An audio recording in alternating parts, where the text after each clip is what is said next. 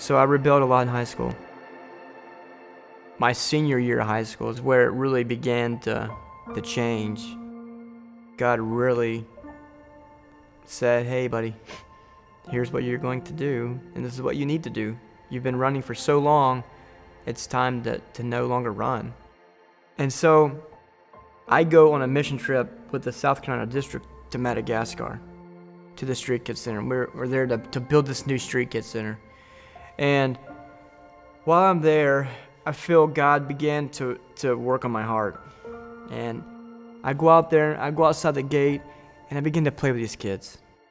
It was like this big, bright light just appeared over me, and it, it was like the time time just stopped. And I and I hear very distinctly God saying, "I'm calling you into the mission. You know, this is going to be your calling."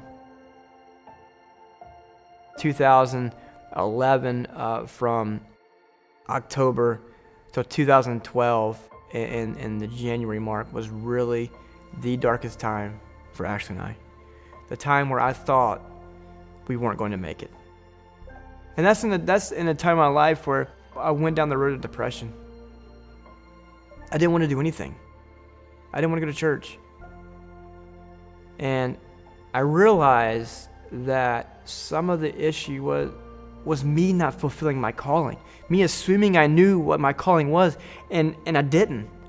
So I go back and actually I discussed it and I said, you know, I'm just going to resign from the from the from the youth ministry. It wasn't 3 days later I had a job interview at a Nissan dealership in Augusta.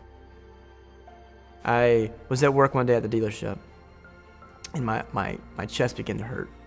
I got home and I couldn't get out of the car. I wasn't in that much pain. And they said, we have the good news and bad news is the good news you didn't have a heart attack. And they said, but the bad news is is you have an infection around your heart and all your joints called endocarditis that's that's affecting everything. It's a major major infection. Uh, but we found the source the source of that all this of your infection is your mouth. Your entire top and half your bottom are fully infected and it's causing this major infection and, and it just went through your body going septic. And and I remember like it, again, like it was yesterday, like the hospital opened up and the Lord said to me, Do I have your attention? Are you going to listen to me? Are you going to focus on me? Are you going to follow me? I called you into ministry in 2004 in Madagascar. Why have you not done it? You, you've assumed this youth ministry. Brian, guess what? It's not.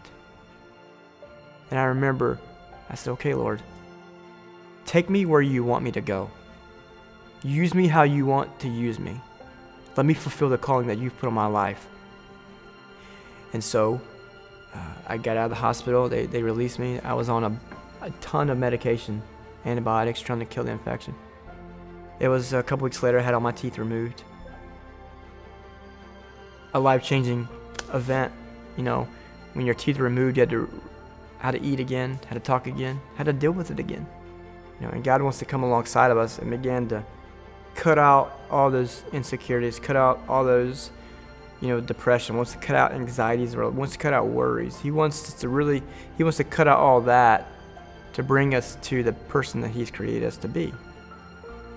And, and he's brought me to my current location in Oskaloosa, Iowa. You know, he's moved me all over the map, I felt like, and, and now I'm in a better place than I ever thought I would ever be, you know. 15, 20 years ago in my life.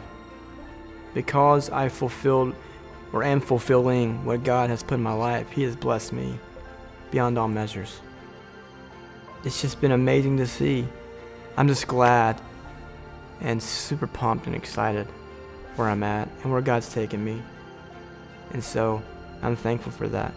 All because I submitted and obeyed. This is the verse that God has given me throughout my life. Psalms 27 1. The Lord is my light and my salvation, so why should I be afraid? The Lord is my fortress, protecting me from danger, so why should I tremble?